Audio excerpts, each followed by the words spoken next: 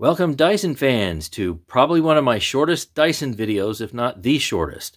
So let's take this uh, V6 Motorhead Plus, run it on low and high.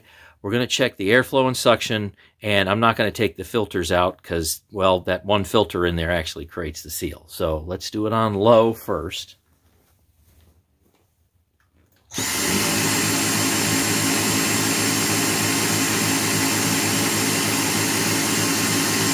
Now, Mac.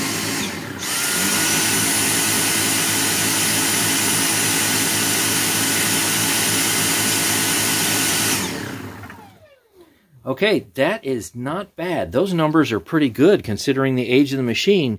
And uh, remember, I found out that on high power, this particular V6, got some wear on it, doesn't last even four minutes. But on low power, it goes 12 minutes and upper 20 CFMs, that's fairly comparable to a lot of stick vac the uh, stick vacs these days that have uh, three speeds, and then you put it on medium power. So that's actually pretty good. Just kind of wish the battery life was a bit longer.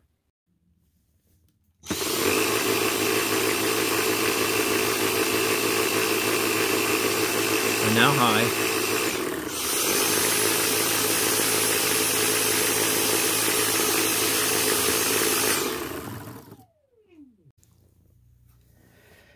All right, go ahead and do low.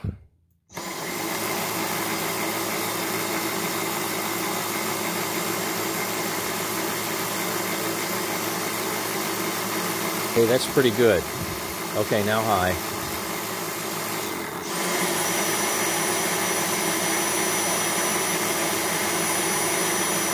All right, we got a voltage regulator down there. That's wonderful.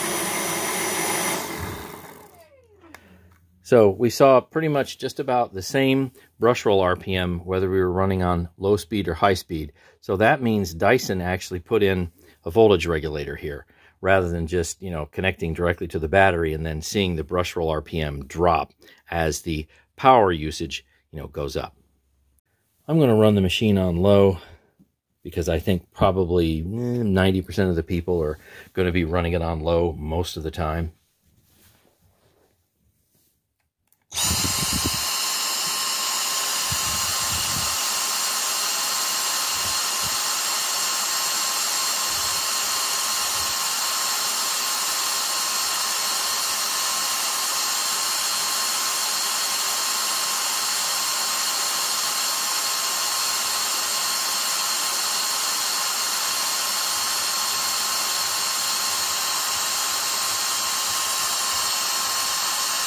It's not as bad as you think.